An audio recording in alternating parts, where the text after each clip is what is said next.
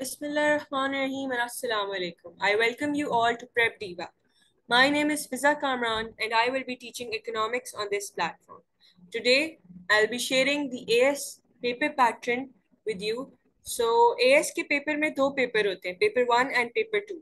Paper 1 is yet again similar to O-levels paper 1 and has 30 MCQs. The total time for this paper is 1 hour and the total marks or 30, which means that each MCQ has one mark. There are four options A, B, C, and D. One option is correct, which needs to be shaded on the bubble sheet towards the end of your paper, whereas all the working is supposed to be done on the question paper. So paper two में हमारे पास data response होता है 20 marks का जो हमें parts में questions आते हैं एक six mark, two mark, four mark और बल्कि दो six marks इस तरह करके आएगा और ये सेक्शन ए का पार्ट होता है data response is compulsory part of this paper there is no choice ठीक है? और ये टोटल पूरा पेपर 60 मार्क्स का होता है 20 मार्क्स सेक्शन ए में केस स्टडी आती है डाटा रिस्पॉन्स आता है। सेक्शन बी में जो है, वो हमारे पास दो क्वेश्चन दिए हुए होते हैं। दोनों 20 20 मार्क्स के होते हैं, जिसमें दो पार्ट्स होते हैं। A eight marks B twelve marks ठीक है? और सेक्शन सी भी बिल्कुल सेम है, दो क्वेश्चन दिए हुए होते हैं।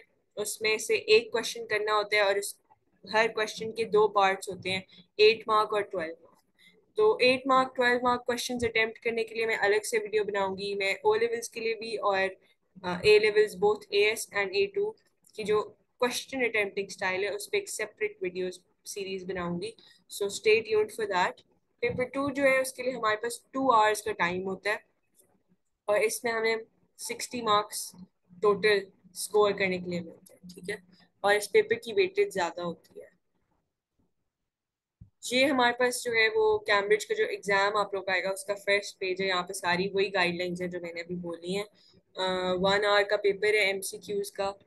You will need a pencil to shade your multiple choice answer sheet which is called the bubble sheet also thirty question होते हैं इस पेपर में, सारे क्वेश्चन आंसर करने होते हैं। A B C D option होती हैं। एक कोई करेक्ट ऑप्शन होगी। ठीक है? और करेक्शन फ्लूइड नहीं यूज़ करना. And this marks and the total marks for this paper is thirty ठीक है? पेपर टू जो है, वो डाटा रिस्पॉन्स इन एस पे है.